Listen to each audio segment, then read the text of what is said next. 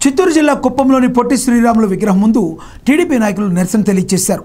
Telugu Desam party జాతీయ ప్రధాన కార్యదర్శి నారా లోకేష్ నిర్వహిస్తున్న యువగలం పాదయాత్రలో గురువారం తెలుగుదేశం పార్టీ రాష్ట్ర వాణిజ్య విభాగం అధ్యక్షులు రాజేష్పై పోలీసులు దాడి చేయడాన్ని కుప్పం టీడీపీ నాయకులు మరియు కుప్పం ఆర్యవైశ్య నాయకుడు కేసు గిరిధర్ బాబు ఖండించారు.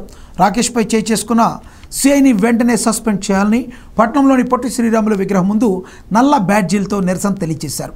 ఈ కార్యక్రమంలో తెలుగుదేశం పార్టీ నాయకులు మాజీ chairman Satyendrasekhar RR Ravi youth అధ్యక్షులు మణి మంజు మరియు కార్యకర్తలు పాల్గొన్నారు.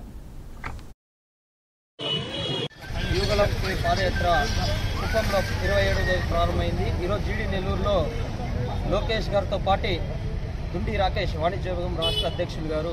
వాళ్ళ పైన మైక్ లాక్కొని చైర్తో పాటు అన్ని తీసుకునేశారు. దాంతో రాకేష్ గారు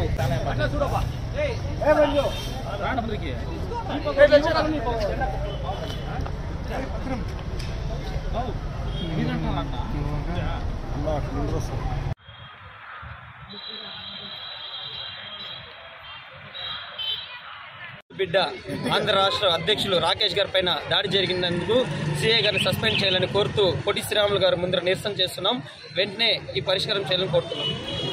యువగలం ఈ పాదయాత్ర కుప్పంలో ఇరవై ఏడో తేదీ ప్రారంభమైంది. ఈరోజు జీడి నెల్లూరులో లోకేష్ గారితో పాటు దుండి రాకేష్ వాణిజ్య విభాగం రాష్ట్ర అధ్యక్షులు గారు వాళ్ళ పైన మైక్ లాక్కొని చైర్తో పాటు అన్ని తీసుకునేశారు. దాంతో రాకేష్ గారు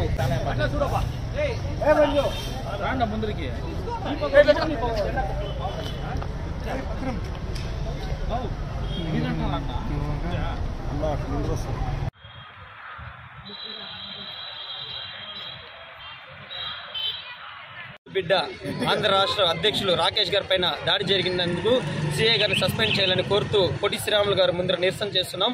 వెంటనే ఈ పరిష్కారం చేయాలని కోరుతున్నాం